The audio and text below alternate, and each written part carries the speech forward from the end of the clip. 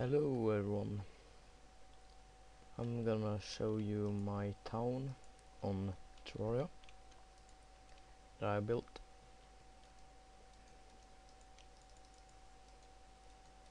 So this is uh, my random house. Ooh, a meteor has landed. Stupid somewhere. This is my random house. I just built it and it's just a house this is my uh, friend's house, green dude. He's not uh, done with it. This is my tree house. You can see uh, corruption. It was tree there, but corruption did like just take over it. Underground jungle, glowing mushroom, sunflowers. This is my spawn house.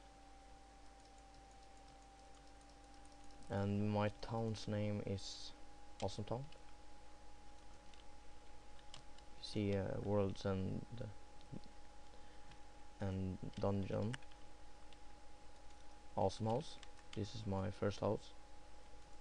The house started when just this little room here. I didn't build so much on it and, and then I built uh, like this big awesome stuff. My storage, an underground uh, tunnel uh, to my glowing mushroom farm down there. You see rocky boots. The bridge to the other town, other side of the town. Uh, some underground tunnels. You can see the NPCs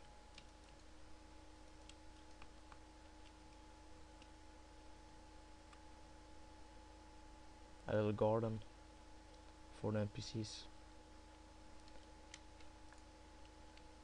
Uh, an area that you can fight in. A nurse that you can heal. A, street. And uh, and the city wall. Guardhouse. Guard tower.